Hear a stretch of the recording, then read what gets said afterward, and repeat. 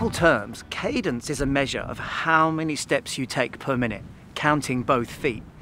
And it's the one commonly measured running metrics that most people love to talk about and discuss.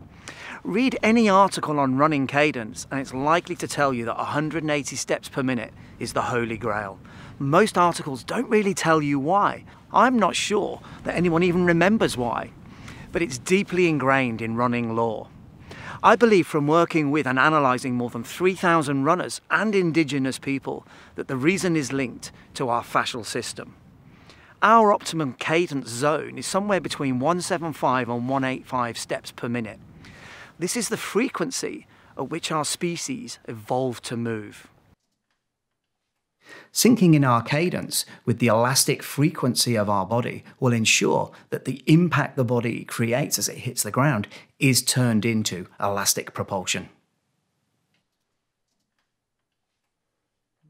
It's almost too good to be true. We hit the ground, create free elastic energy, and it propels us into the air. If we move at a cadence that is lower than our 175 to 185 zone, we will lose our ability to maximize this endless energy source. Most of the runners who come to see me for coaching are running at a cadence between 160 and 170 steps per minute. When they attempt to change this, most find it very challenging to run at a higher cadence, and that's linked to the common misconception that cadence is the answer to all our running form concerns that if we get that bit right, the rest will follow.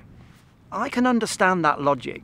If you take a heel striker or someone who is overstriding and get them to run at a higher cadence, the chances are you will shorten their stride length and you will get the foot landing underneath the body, thus largely eradicating the heel strike problem. Surely then you have fixed the biggest visible issue and that the problem is solved. Well, sadly not the body should naturally land the feet in the correct fashion. The big lesson here is that cadence is only part of the equation. By only focusing on cadence and not changing anything else, the result will be shuffling around with quick feet, a shorter stride, and most importantly, very little in the way of vertical oscillation or air. You will be completely sucked to the ground, far less dynamic and most likely struggling with your breathing.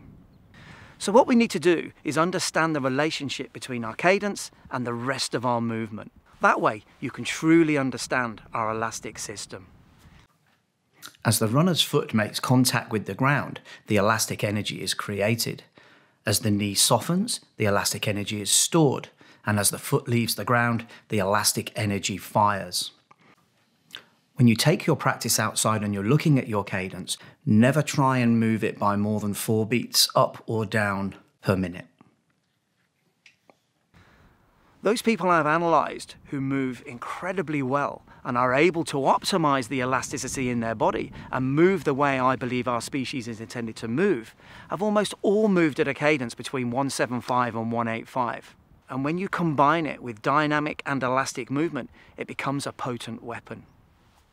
My research on cadence and fascial frequency took me to Vienna to study Kipchoge's successful attempt at breaking sub two hours for the marathon. So what we can see from this screen, we can actually put a stopwatch on the screen and we can actually work out uh, Kipchoge's cadence. It's actually bang on 180, which is really, really interesting because if he runs at that cadence, he's joining in with the elastic energy of his body. Every time his foot hits the ground, two and a half times his body weight comes back in, creates a load of elastic energy in his body. That's then stored and then released. The cadence that Kipchoge is running at means that he is syncing in with that elastic frequency perfectly. So it's kind of free elastic energy, free speed if you like. I think it's one of the reasons he's such a good runner.